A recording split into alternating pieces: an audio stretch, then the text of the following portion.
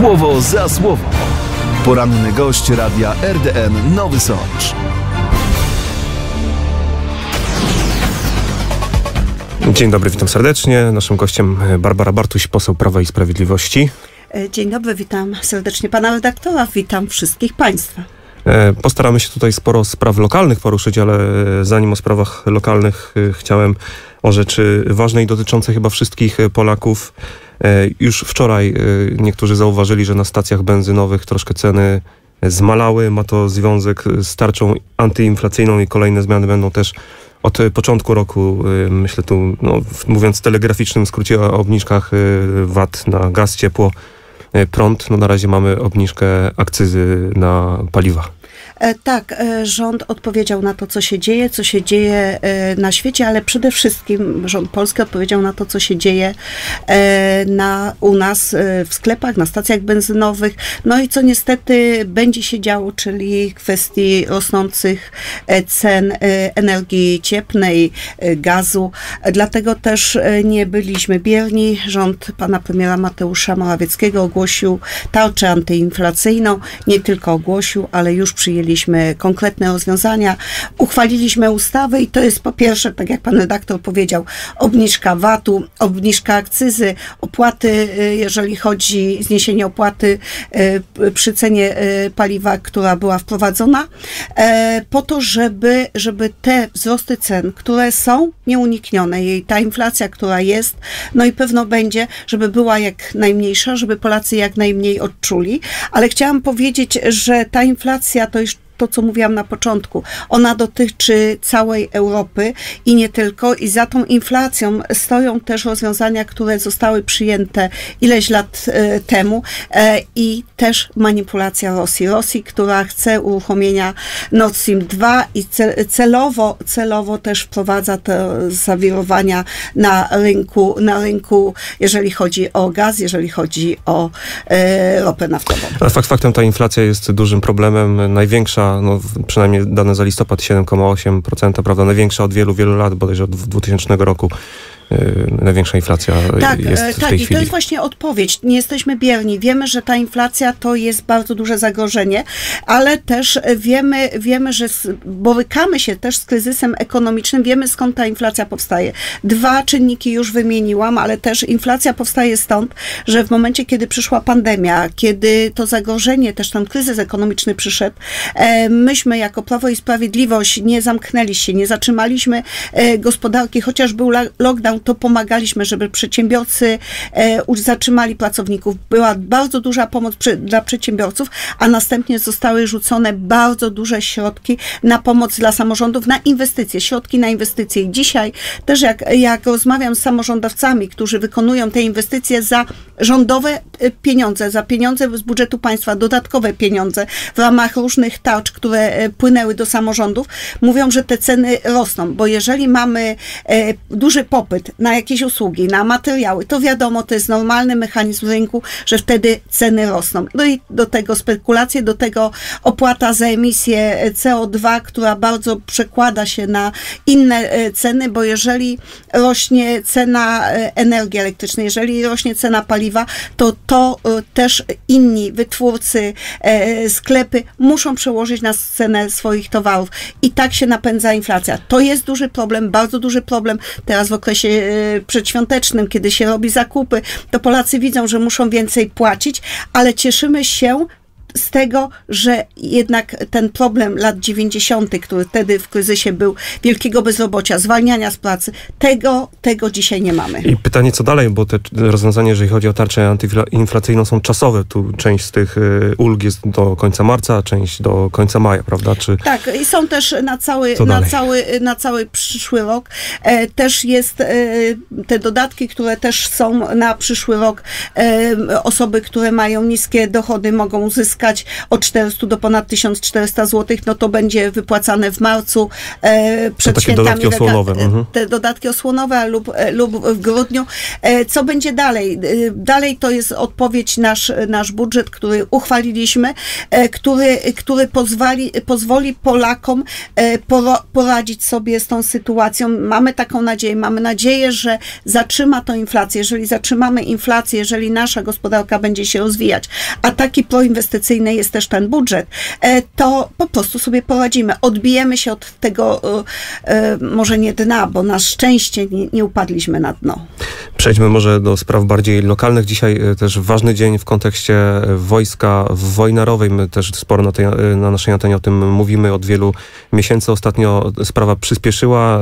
Radni zgodzili się, radni gminy Korzenna zgodzili się na sprzedaż działek. E, Był podpisane takie wstępne porozumienie i tutaj informacje od wójta gminy Korzenna są takie, że dzisiaj ma być już podpisany akt notarialny w sprawie sprzedaży tych gruntów. Tak, Tam, przypominam, widziałam. 14,5 miliona złotych działka wojnarowej pod przyszłą jednostkę wojskową. E, Tak, e, wczoraj na spotkaniu małopolskim widziałam się z panem e, wójtem z Korzennej, który, który już jest w tej chwili w drodze na pewno do Krakowa, żeby ten akt notarialny podpisać, ale też dzisiaj o 13 e, w Krakowie będzie podpisany list intencyjny. List intencyjny będzie podpisany przez wojewodę, przez marszałka województwa, przez właśnie pana wójta Leszka Skowrona, ale też przez gminę Grybów oraz e, powiat nowosądecki. I to jest list, który mówi o utworzeniu jednostki wojskowej wojnarowej, o przywróceniu e, tej wojska na Sądeczyznę. To jest ta idea pierwszego pułku Szczelców, który kiedyś był, o, który, e, o którym e, sama deklarowałam poparcie do przywrócenia. To sprawa już jest od kilku lat, można powiedzieć, taka głośna, ale teraz nabiera realnych kształtów. Dzisiaj list intencyjny i zatem myślę, że w przyszłym roku już ruszą prace, bo przecież, żeby przyszło tutaj wojsko, trzeba przygotować też infrastrukturę. Myślę, że to też będzie powód dużego takiego boomu inwestycyjnego e, w tym, w tym rejonie. Cieszę się, że na przykład jeżeli chodzi o drogi, to będzie ta droga poprawiona do Wilczysk, czyli też jakby e, skorzysta zarówno cały powiat nowosądecki, jak i powiat gorlicki i myślę, że w przyszłości to nie tylko Duma, ale to też e, wojsko, które będzie, polskie wojsko przyspieszy rozwój naszego regionu, też da miejsca pracy dodatkowe. Także, że to jest dobry dzień, e, począ- dobry początek e, przyszłe, e, przyszłego powrotu wojska do, na Sądeczyznę, a, konkretnie do wojny. Wójt mówił nam tutaj, że to jest nawet 800 mundurowych, którzy mogliby być w przyszłości w wojnarowej. Tak, dzisiaj, y, dzisiaj to jest list intencyjny, który będzie podpisany, ale takie są zamierzenia, cały czas e, są uzgodnienia, było już wiele spotkań, e, wiele ustaleń, bo zanim pojawią się mundurowi, to też tą jednostkę trzeba przygotować. Czyli w przyszłym roku jeszcze nie jednostka, ale już żołnierze powinni się y, pierwsi pojawić w wojnarowej, tak? E, takie są nadzieje. Mhm. Takie są nadzieje. Y, Z pierwszymi y, działaniami. Na pewno też będziemy dzisiaj wracać do tego na naszej antenie. Y, Obwodnica piwnicznej, bo y, tutaj y, widziałem, że pani interpolowała w sprawie obwodnicy piwnicznej. To też temat bliski słuchaczom Radia RDN Nowy Sącz, ponieważ też często o tym mówiliśmy. Jest grupa ludzi, którzy tam protestują nie tyle przeciwko obwodnicy piwnicznej, ale obawiają się, że, że zbudowanie obwodnicy piwnicznej i zmiany też na, ogólnie na drodze krajowej 87 w tym kierunku sprawi, że pojawi się tu tranzyt, taki, taki mocny tranzyt międzynarodowy w stronę Słowacji. I y, w interpelacji pani pyta między innymi y, właśnie mm, y, jakie są, y, jakie też jest stanowisko ministerstwa w sprawie tego sprzeciwu mieszkańców tego, i, w sprawie Społecznego Komitetu Gminy Piwniczna. E, tak, e, powiem, że e, obwodnica piwnicznej to jest długa historia. W ogóle ruch na Słowację, przecież mamy wielu transportowców na naszym terenie, na Sądeczyźnie. To jest, to jest taki temat, który jest bardzo ważny dla wielu osób, w tym mieszkańców nie tylko gminy Piwniczna, ale też Starego Sącza, Rytra. Także to jest, to jest e, bardzo ważny temat. Kiedyś jeszcze w poprzedniej kadencji interpelowałam o to, żeby zmusić Słowaków, żeby bardziej wpuszczali nasze tiry, żeby nie było tych ograniczeń, żeby, e, żeby osoby, które wykonują transport międzynarodowy, nie musiały jechać na południe Europy e, z Sądeczyzny aż na Barwinek, e, żeby, żeby e, jakby Słowaków przymusić. E, Wtedy okazało się, że rozmowy nie są, e, no nie idą po naszej myśli jako e, strony polskiej, E, Słowacy są e, przeciwni tam wpuszczaniu, ustawiają ograniczenia. E, Natomiast w tym, w, w kolejnej kadencji, to w tamtej kadencji, jak się pojawił ten program 100 obwodnic, byłam po prostu bardzo szczęśliwa, jak się okazało, że w ramach 100 obwodnic na terenie Sądeczyzny została wpisana też obwodnica piwnicznej. I to, był, to było to pierwsze, to, ta pierwsza radość, aż zgłosili się do mnie mieszkańcy, którzy przeciwko temu protestowali.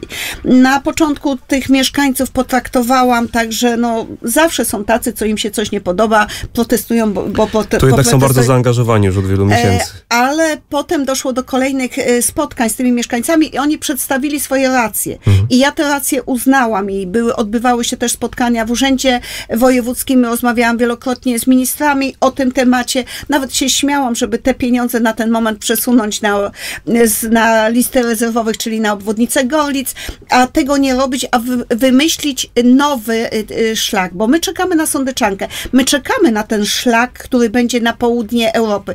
Tylko nie w ten sposób, co teraz są te pierwsze koncepcje, bo tak jak mieszkańcy mówią i tutaj mają wiele racji, że to jest obwodnica rynku piwnicznej, a ten piękny teren zostanie y, po prostu w jakiś sposób zniszczony poprzez to, że ruszą ciężarowe samochody. Wiemy, że na, na ten moment bardziej nie ruszą, bo Słowacja ma cały czas ograniczenia, ale w przyszłości mógłby być to nowy szlak. Tego szlaku y, tam mieszkańcy nie chcą, co nie znaczy, i takie jest przekonanie, i tak ze mną rozmawiali, że nie chcą w ogóle szlaku tędy e, na Słowację i południe Europy, ale nie w takim przebiegu, jak teraz jest planowany. Czyli pani troszkę zgadza się z tym, co podnoszą mieszkańcy, bo tutaj też Generalna Dyrekcja Dróg Krajowych Autostrad oczywiście przyznaje, że zwiększyłby się tranzyt, ale nie byłoby to główne przejście tranzytowe. Znaczy się ja... Od czego e, obawiają się mieszkańcy? Z, y, z wieloma argumentami mieszkańców się zgłasz, zgadzam i dlatego ta interpelacja przeze mnie y, zgłoszona, natomiast też postuluję, żeby ten szlak otworzyć. Czekamy na sądeczankę. Ta sądeczanka nie ma się kończyć w Sączu. Ta sądeczanka ma pozwolić właśnie na e, lepszy, szybszy i taki ruch też e, ciężarowych samochodów, w tym samochodów z Sądeczyzny na południe Europy. Tego potrzebujemy, tego potrzebuje nasza gospodarka, potrzebują mieszkańcy, potrzebują transportowcy. Ta interpelacja jest z grudnia, czy już jakaś odpowiedź E, nie, Nie, przyszła? zgodnie, Czekamy e, jeszcze. zgodnie z, z tymi przepisami, regulaminem, pan minister ma jeszcze czas na odpowiedź. Dobrze, została nam jeszcze jakaś minuta, e, to zakończmy tematem może takim troszeczkę luźniejszym, ale myślę, że też ważnym patriotyzm, Gorlicki konkurs pieśni patriotycznej wraca. Tak, dokładnie, panie redaktorze. Wczoraj odbyłam spotkanie z współorganizatorami, z dyrektorem Państwowej, Zespołu Państwowych Szkół Muzycznych, z dyrektorem Szkoły Muzycznej w Bobowej, z Gorlickim Centrum Kultury. Rozmawiałam już z IPN-em. E, Tutaj ze Strażą Graniczną po rocznej przerwie związanej z pandemią wraca, na pewno wraca pierwszy konkurs, Gorlic, Gorlicki konkurs pieśni patriotycznej że to jest Gorlicki, to nie znaczy, że dotyczy tylko Gorlic, bo dotyczy całego mojego okręgu. E, Konkurs, który już ma określone reguły, który będzie określo- e, ogłoszony na mojej stronie. Powiem tylko, że do czwarte, do 2 lutego będą zgłoszenia e, do tego konkursu e, i konkurs się odbędzie e, 15-16 lutego, to będzie już ten e, przegląd w Gorlicach i 27 lutego e, planujemy obchody żołnierzy wyklętych w Gorlicach. To już taka tradycja, wtedy z orkiestrą, z tymi wykonawcami, e, laureatami tego konkursu. Będziemy też upamiętniać e, niezłomnych. Powiem jeszcze to, co wczoraj wybrzmiało. Ten konkurs to jest szansa też dla tych wszystkich młodych ludzi, którzy planują jakąś, można powiedzieć nawet słowo karierę muzyczną, bo laureaci często później razem z Orkiestrą Straży Granicznej, naszą klubą Sądeczyzny, e, koncertują w różnych miejscach, później powracają też na sceny do Gorlickiego e, Centrum Kultury, ale nie tylko. Dlatego zachęcam e, po feriach, żeby temu się, czy okolicach ferii, e, zanim młodzież e, uda się na wypoczynek, zainteresować się i może poszukać tych talentów, e, głównie muzycznych, ale też to jest konkurs pieśni patriotycznej robiony z Instytutem Pamięci Narodowej. Dziękuję bardzo serdecznie za rozmowę. W programie Słowo za Słowo gościem była Barbara Bartuś, poseł Prawa i Sprawiedliwości. Dziękuję bardzo. Miłego dnia wszystkim Państwu życzę. Słowo za słowo. Poranny gość radia RDN Nowy Sącz.